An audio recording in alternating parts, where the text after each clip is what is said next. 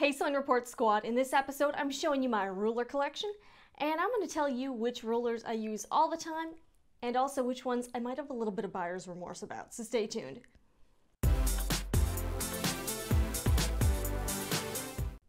Welcome to the Sewing Report. I'm Jennifer Moore, helping you discover your love of sewing. If that's something you're interested in, feel free to subscribe to this channel. And we are taking a look at the massive amounts of rulers that I own. Some I use and some I really don't. So let's get started. The first rulers that I actually picked up were these OmniGrid rulers. They're like neon highlighter yellow. And while they're a fun color, I used these when I was first getting started quilting. I didn't really know what I needed. So this is what everybody was using at the time, it seemed. So I got this, uh, I think this is a 6 by 24. So this is a 6 inch by 24 ruler.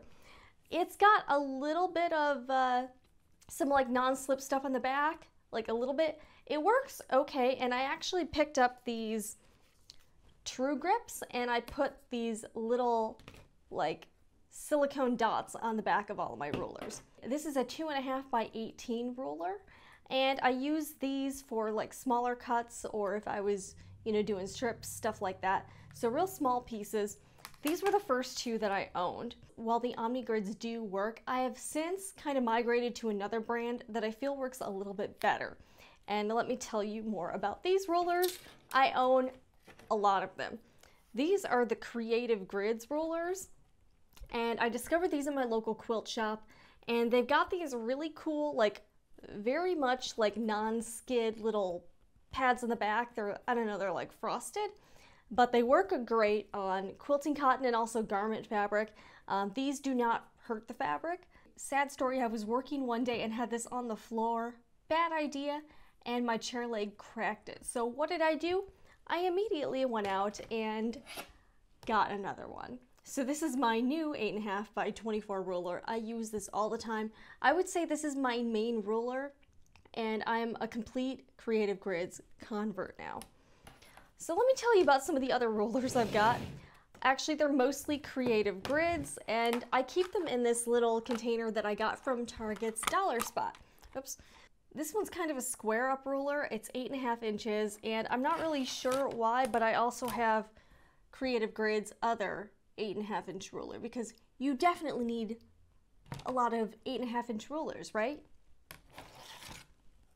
I also picked up this eight and a half inch, I believe this is, yes, I really like eight and a half inch rulers. I did use this to cut out a quilt, although that was like three years ago and the quilt still isn't pieced together. But I really like the ruler and I've used it to make a lot of triangles. Here's my little six and a half inch square ruler. And I use this when I have like a six and a half inch quilt block. One thing I can tell you is if you're gonna be making a quilt with a lot of blocks, it's worth it to get the corresponding size ruler so you can square up all your blocks so they're uniform size. These rulers are maybe like 20 bucks, but in my opinion, it's totally worth it just to have totally uniform size quilt blocks. So that's really the reason why I probably own so many of these square rulers is because at one point I was working on a quilt with six and a half inch blocks or eight and a half inch blocks and so on. This ruler is the binding tool when I first started quilting, I saw this product. This is a binding tool and it kind of helps you cut your binding strips so that they're perfect when they butt up to each other. And I saw Jenny Doan on the Missouri Star Quilt Company using it. It's a cool ruler, but I have found a method that works better that doesn't involve this ruler, so I don't really use it anymore. A couple years ago, I took a class with Mary Fons, and this ruler came with the class. This is Fons and Porter's half and quarter ruler. I did use it in the class. I haven't used it since then. It is kind of a neat ruler though. This bad boy is Creative Grids 12 and a half inch ruler. And you might think like, when would I really need this? But I have made quite a few quilt blocks that were 12 and a half inches unfinished. So it has come in handy. Plus I actually will combine this with my 8.5 by 24 inch ruler. So quite often I'll use those rulers together just to trim my quilts after they've been finished. So this one actually does come in handy and I love this one.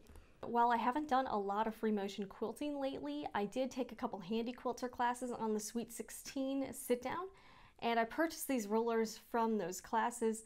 They're pretty cool, and I do have the hopper foot for my Janome 7700, and I've got an extension table. I actually should do some free motion quilting one of these days. Maybe it'll be future video. Let me know if you would enjoy watching me try to free motion quilt using rulers. But I've got this handy tool, and this one makes a lot of shapes. This does like a clamshell shape or like a half circle. It does like points, and you can do a lot of things with it. It's got a straight edge, and then it's got this curved edge. So we actually used this in the class and I purchased it. And then I also got something called Handi Grip and it's sort of the same type of material that's on the back of the Creative Grids rulers. Um, but it's sort of like these little strips and you can put these on any ruler. I will say these are definitely, they definitely are more effective than these True Grip circles, but I would not recommend these strips for like fine fabrics. Like if you're trying to use the ruler to cut silk or something that might snag, I would actually not recommend these because this is a little bit like sandpaper. But for your quilting cottons or for your sturdier fabrics, this would be totally fine. I have not personally experienced any problems with it damaging my fabric and I have used it. So these work really well. And I'll try to link to everything below if I can find it in the description box. So if you're interested in any of these rulers, look below and I'm to try to create a kit from kit.com to link to all of these products. Now that I'm getting more into dressmaking and garment construction, I picked up a couple curved rulers. This one's from Amazon. This is the Fairgate curve. Works pretty well. And then I also got this one. This is from a class I took with Otika Beamer. She is a craftsy instructor as well.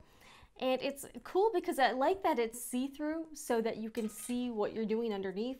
This one you cannot see through. And this also has lines for seam allowance. I believe this is a 3 8 seam allowance and this is the 5 8 seam allowance. So pretty handy tool and I can see using this a lot once I get more into like grading patterns and doing a lot of things with that. So I'm very happy to pick these up. The rulers I don't have that I'm looking for are more dressmaking rulers. I'd love to get one of those flexible rubber rulers. I think that would be cool. And I'd also like to get a smaller, flexible ruler that looks more like this. So I'm looking to pick that up as well. You know, like the kind that you see in all those like beginner fashion student kits, something along those lines. So that's my ruler collection. Let me know what you think. Did you enjoy this video? Give me a thumbs up or a thumbs down. Let me know why. And do you think I have too many rulers? And also, what's your favorite ruler? I'd like to know. I will see you next time for another edition of the Sewing Report.